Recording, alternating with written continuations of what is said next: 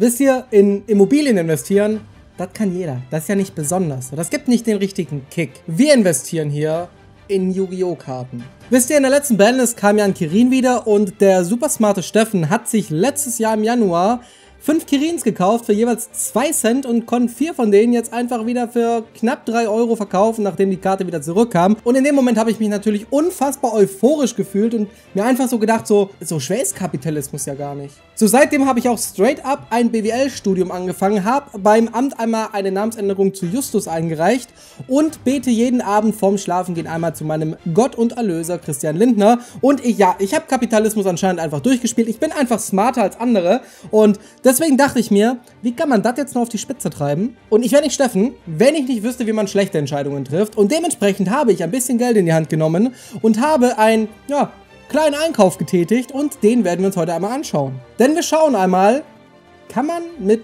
einer kleinen Investition in gebannte Karten vielleicht ein bisschen Geld machen? Denn ich hatte noch einen Koloss rumliegen, den habe ich straight up am selben Abend noch verkauft für 14 Euro. Die Kirins hatte ich unter anderem verkauft und da dachte ich mir so, sobald eine Karte von der Bandis kommt, dann ist das eigentlich eine Möglichkeit, wie die ein bisschen steigen könnte. Und jetzt kann ich mir ein paar gebannte Karten kaufen und mal gucken, ob die dann in ein, zwei Jahren vielleicht, wenn die ja mal entbannt werden sollten, ob die dann steigen und ich ein bisschen Stonks machen kann. Also habe ich mein schwäbisches Geld, welches ich natürlich seit meiner Geburt straight up verdient habe mit Ferienjobs, mit zwei habe ich schon am Band gearbeitet, in die Hand genommen und habe für ungefähr 40 Euro in gebannte Karten investiert, die meiner Meinung nach vielleicht irgendwann innerhalb der nächsten Jahre zurückkommen können. Und ich kann jetzt schon mal sagen, höchstwahrscheinlich wird der zweite Teil von diesem Video tatsächlich erst in einem Jahr kommen. Aber wir gucken jetzt einfach mal, wie hat Steffen denn ein bisschen Geld wahrscheinlich in den Sand gesetzt. Fangen wir mit der ersten Karte an und das ist das Künstler-Zauberer Plüschfeuer. Kennt, kennt noch jemand Pepe? Äh, ich habe inzwischen 14 Stück davon, weil ich hatte teils schon mal welche gekauft gehabt und äh, dann habe ich mir jetzt noch mal ein paar geholt. Jetzt habe ich 14 von den Dingern.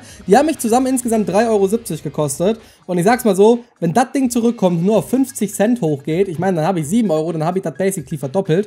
Also von dem her kann ich mich da, glaube ich, nicht beschweren. Dementsprechend, ja, gucken wir mal, ob diese 14 Stück tatsächlich dann irgendwas wert sind. Die kommen auch alle übrigens in diese wunderschöne äh, Box. Die ist sicherer als die Deutsche Bank tatsächlich. Äh, wie man hört, ist äh, absolut pures Gold. Da wird das Ganze natürlich auch aufbewahrt. Aber wie gesagt, wir haben 14 Mal das Plüschfeuer für 3,70 Euro. Wer weiß, äh, das ist so eine Karte, by the way. Ich habe ein paar Karten, die wahrscheinlich eher nicht unbedingt zurückkommen, aber ich hatte trotzdem Bock zu investieren. Und wie gesagt, am Ende waren wir nur bei ungefähr 40 Euro, weil das Geld hatte ich eigentlich noch auf Kartenmarket rumliegen. So, und dann dachte ich, komm, ich lasse mir das jetzt nicht auszahlen. Wir investieren das ein bisschen. 14 mal Plüschfeuer. Die nächste Karte ist prinzipiell eine, bei der manche Leute schon gesagt haben, dass sie eventuell auf dieser Bandis wiederkommen könnte und das ist Streichbuben Miau Miau Mu.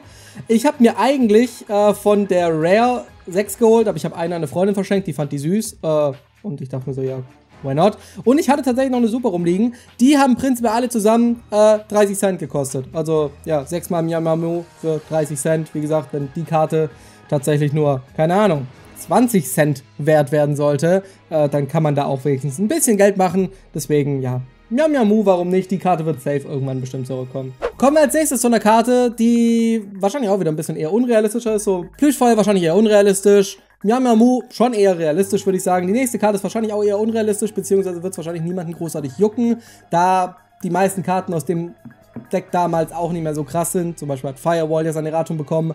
Wir haben Spioral Generalplan. Äh, zwei hatte ich noch zu Hause rumliegen. Ich habe die jetzt einfach mit reingerechnet, so als ob ich die auch gekauft hätte.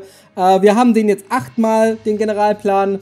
Bin gespannt, ob der irgendwann zurückkommen sollte. Das hat mich übrigens 3,92 Euro gekostet, die ganzen Dinger hier. Wie gesagt, ich habe meine zwei, die ich jetzt hatte, einfach reingerechnet und so getan, als hätte ich die auch gekauft für den selben Preis. Die Karte, die keinen Once-Per-Turn hat cool. Aber wie gesagt, sowas wie äh, Firewall, den man der damals, glaube ich, da auch drin gespielt hat, der ist inzwischen halt eh, ja, nicht mehr so geil. Und dementsprechend Generalplan. Ich meine, guckt euch die an. Die könnte meine Sekretärin sein, während ich meine harten Business Moves raushau. Kommen wir zur nächsten Karte. Und äh, da habe ich sechs Stück, die haben 2,94 gekostet. Ist der gute Blockdrache. Für, ja, sechsmal haben wir den gekauft. Und, äh, keine Ahnung, vielleicht, vielleicht kommt er ja irgendwann mal wieder. Ist auch eine Karte, wo viele gesagt haben, die könnte vielleicht wieder auf 1 zurückkommen. Äh, ich will mich dazu nicht äußern, weil ich dafür viel zu wenig Ahnung von Rocks habe. Ich bin tatsächlich der, der bei Schere, Stein, Papier meist immer eher Richtung ja, Schere tendiert, weil ich predikte, dass die Leute glauben, dass ich Stein nehme, deswegen Papier nehme, deswegen nehme ich Schere. Ich so versuche das auf einer Metaebene zu machen. Ne? Aber ja, wir haben sechsmal den Blockdrachen. Vielleicht kommt er auch irgendwann mal wieder. Da kann ein Kumpel von mir was sagen. Der spielt mit Stein generell, seit er klein ist. Kommen wir zur nächsten Karte und das ist auch wieder eine, wo manche tatsächlich den Guess hatten, dass die vielleicht wieder zurückkommen könnte, weil die tatsächlich gut für Goblin Bike ist und deswegen kann ich mir vorstellen, dass die innerhalb der nächsten Bandits vielleicht tatsächlich wieder zurückkommt. Das ist auch die teuerste prinzipiell. Da haben mich fünf Stück 9,90 Euro gekostet, also knapp 2 Euro das Stück. Das ist äh, MX Säbel Beschwörer, den habe ich mir fünfmal dann auch in Secret geholt. Bin gespannt, ob die zurückkommt. Ähm, davon gibt es wahrscheinlich nicht ganz so viele, so wenn ich mal bedenke, Plüschfeuer hat oder Miamamu, die haben halt tausende Stück so. Aber den gibt es wahrscheinlich nicht so hart. Das heißt, wenn der vielleicht, keine Ahnung, vielleicht, vielleicht geht einer, wenn er zurückkommt, auf 5 Euro hoch oder sowas. Und äh, dann, keine Ahnung, ist das 25, dann haben wir ein bisschen Songs gemacht. Das ist so ein bisschen das Risky-Ding, wo ich ein bisschen mehr Geld ausgegeben habe. Also allein die 5 sind halt schon ein Viertel von all dem Geld, was ich ausgegeben habe. Aber schauen wir mal, bin gespannt, was wird. Okay, wollt ihr wissen, bei welcher Karte ich reingecasht habe und mir eigentlich so denkst, von wegen, die wird nicht zurückkommen? Norden. Ich äh, habe mir fünfmal Norden geholt. Der hat bisher nur einen einzigen Print und das ist in CT12. Also, das ist äh, eine Weile her und nur einen einzigen Print. Dementsprechend, wenn die Karte zurückkommen sollte, irgendwann. Ich glaube es nicht wirklich, weil es ist halt, so keine Ahnung, wenn die Karte kommt, dann muss halt eigentlich Instant Fusion gehen oder sowas. Das, das, das kann halt nicht sein, dass beide zusammen existieren. Das war halt echt ein bisschen krass, aber ich merke gerade vor allem, ein Synchronexis und ein Synchronexis-Monster von Discard Special Summon, genau. Das ist ein äh, Super Poly-Target. Ähm, man kann ja zum Beispiel Entes kann man nicht mit Super Poly holen, weil die durch ihren eigenen Effekt quasi als äh, Kontaktfusion quasi kommen muss. Norden kann gesuperpoliert werden und einfach zwei Xyz, zwei Synchro oder ein Synchro, ein Xyz why not? So, keine Ahnung, so, dann da muss man Superpoli spielen, dann können das nur Decks spielen, die Superpoli spielen und dann ist das tatsächlich ein ziemlich, ziemlich gutes äh, Superpoli-Target. Dementsprechend, ähm, fünfmal Norden, by the way, 5 Euro, ein Stück, 1 Euro. Wenn die zurückkommen sollte, kann ich mir vorstellen, dass die Karte tatsächlich, wenn die keinen Print direkt hat, mal auf ihre 5 bis 10 Euro hochgeht und ich hoffe es ein bisschen. Die nächste Karte hasse ich ungemein. Ich mag das Deck gar nicht. Ähm, das ist Mathmech. Äh, hat bisher natürlich auch nur den einen Print aus Power of the Elements. Den haben wir auch sechsmal. Der hat mich 2,94 Euro gekostet. Ja, meinetwegen kann die Karte gerne noch wegbleiben. Also ich, ich mag die Karte persönlich gar nicht. Ich mag MathMac nicht unbedingt so. Weiß nicht, drei Punkte Mathe Abi hat mich vielleicht ein bisschen geprägt, was das angeht. Aber ja, keine Ahnung. Hoffentlich bleibt er weg. Eine der letzten, wenn nicht sogar vielleicht die letzte Karte, die von dem ganzen Hulky Firebrack Stuff noch gebannt ist, ist aufblühende Blumenzwiebel. Davon habe ich ebenfalls sechs Stück, die haben mich zusammen 1,77 Euro gekostet, sondern die Common-Varianten. Aber sollte die Karte wieder zurückkommen, was auch schon manche gedacht haben, weil die ist, glaube ich, im OCG auch wieder zurückgekommen. Das heißt, die könnte bei uns demnächst vielleicht auch wiederkommen, solange halt, wie gesagt, sowas wie Hulk oder so gebannt ist. Und ja, why not? So ein bisschen mit der Common. Zwiebeln sind eh geil, ganz ehrlich. Also angebratene Zwiebeln, wundervoll. Okay, und jetzt die letzten Karten sind prinzipiell eine kleine Engine, die viele Decks spielen, die aber auch gebannt ist. Und wenn ihr die seht, werdet, werdet ihr sagen so von wegen, ah ja, die Engine, hoffentlich nicht. Ähm, aber ist die heutzutage noch so OP? Schreibt das gerne in die Kommentare, ich will mich dazu nicht äußern. Äh, wir spielen äh, Granat.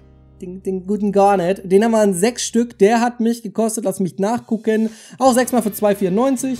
Und ja, natürlich, wenn, wenn ihr jetzt schon Granat seht, dann wisst ihr ganz genau, welche kleine Engine kommt. Den haben wir nämlich sechsmal und da muss ich hier gar nicht weiter, ja, cutten prinzipiell. Wir haben viermal Seraphnit noch, denn ja, die hat mich gekostet 1,96. Denn wenn man schon halt Granat spielt und dementsprechend natürlich auch die brillante Fusion dann äh, muss man halt auch ja, den, den Granat spielen. Komm, jetzt können wir Granat, damit der nicht so einzeln rum ist, können wir den hier noch dazu holen. Ähm, die Seraphnit waren, by the way, wie gesagt, 1,96 und die vier Brilliant Fusions, weil drei davon sind Secret, eine ist eine Super, für 4,70 Euro. So, damit haben wir alles und damit sind wir tatsächlich insgesamt bei einem Wert von 40,07 Euro. Ich werde das Ganze natürlich äh, einmal im Video nochmal kurz einblenden. So, von wegen, ich bin gespannt. Hier seht ihr übrigens diesen ganzen Kartenhaufen, der mich jetzt quasi 40 Euro und 70 Cent gekostet hat. Und irgendwann, wenn, äh, wahrscheinlich werde ich das nächste Video, das Folgevideo zu dem Ding hier machen, sobald auf der irgendeiner Bandlist irgendeine Karte davon wieder zurückkommen sollte. Ähm, ich vermute, das wird wahrscheinlich eher so in die Richtung Blumenzwiebel gehen, beziehungsweise äh, Invoker oder Miam Yamu. Das sind so die drei, wo ich eher glaube, dass die vielleicht zurückkommen werden. Ich bin sehr gespannt. Ich freue mich schon, wenn ich den äh, zweiten Teil davon machen kann. Von dem her, lasst gern ein Like und ein, ein Abo da. Das wäre sehr cool. Und guckt auch auf Twitch vorbei. Äh, wir streamen auch ein bisschen Yu-Gi-Oh! natürlich. Dementsprechend äh, Master Duel oder auch äh, Locals. Von dem her, ja. Würde mich freuen. Man sieht sich beim nächsten Mal. Bis dann und schreibt mir gerne in die Kommentare, was für schlechte Entscheidungen ich noch zu treffen soll. Bis dann.